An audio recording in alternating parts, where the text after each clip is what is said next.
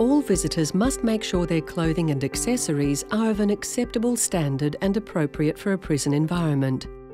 Clothing displaying racist or derogatory slogans or outlaw motorcycle gang colours or patches is not permitted.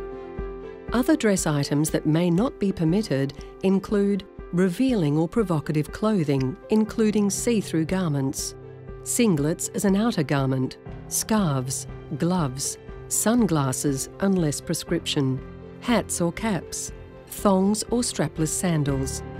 If the officer in charge determines that your clothing is inappropriate, efforts will be made to offer you alternative clothing. If this is not possible, or if you decline the clothing offered, the visit may not be allowed to go ahead.